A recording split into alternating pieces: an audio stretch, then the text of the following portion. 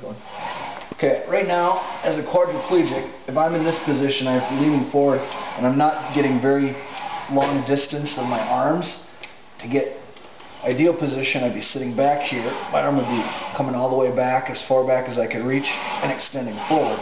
But to do that in this position, you can see from where my hand is here, up to where the, the grip is, it's about 8 to 10 inches short, the cable.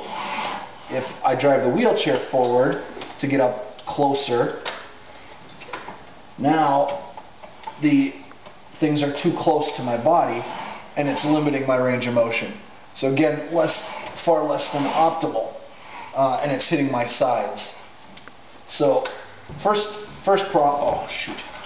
First problem is the cable's about 8 to 10 inches too short. Next problem, as you can see here, I, I'm sitting in this power wheelchair, is as low of a power wheelchair as you can get. And when I pull in here, the uh, I can't get underneath it. I actually had to rotate these bottom pieces up in the air. Can you show, see those Bill down there? Rotate them up in the air so I could try to lift up on the thing to pull underneath. Uh, and uh, right now it sits, it, it's in the highest position. Even the highest position, it's about two inches too low to clear the wheelchair armrests. Uh, and again, so these armrests right now, I'd have to, I'll double check the measurement, but I think they're around, they're 29 and a half inches, um, which is pretty sta typical standard height. Most people in power chairs are either this height or a little higher. Uh, so the, the adjustment range goes far too low, I mean, unless somebody was a dwarf or something, and doesn't get up high enough to even be like standard desk, desk or countertop height.